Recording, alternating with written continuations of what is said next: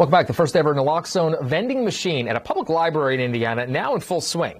It's one of 19 to be placed statewide for community members to use and save lives. News 8's Camila Fernandez spoke with the family that knows firsthand how critical this could be. I find it very sad that we have that need, that it is a need. That's the world we live in today.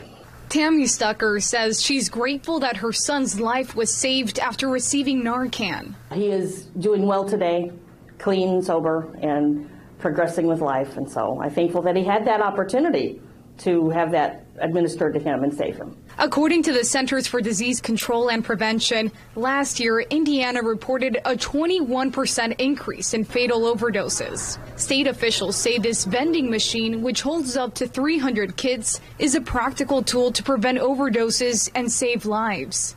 There you go. And it is recommended that people take two to four doses each. So that's um, because sometimes it doesn't work the first time, or sometimes it appears to work and then it wears off, and so they may need a, another dose of it. The vending machine is located at the Kokomo Howard County Public Library main location on North Union Street. According to library officials, each kit includes a single dose of naloxone and instructions, as well as a referral to treatment dealing with substance use disorder. All you have to do is press an available key combination on the pad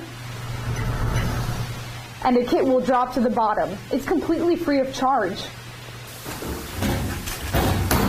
It's awesome that when the need is arises, it's readily available. I do hope that whoever attempts to help that person kind of knows a little bit about what they're doing because it can do more harm than good. It's only available when the library is open from 9 a.m. until 8 p.m., but there is also a NaloxBox outside the building filled with kits. Maybe if it was at a jail or some other place or the police station, you know, there's a little bit of stigma of going into those places. So I feel like it's just a safer place for people to feel more comfortable to be able to get um, maybe a medication that could save a loved one's life. Camila Fernandez, Wish TV, wishtv.com, and follow us on Facebook.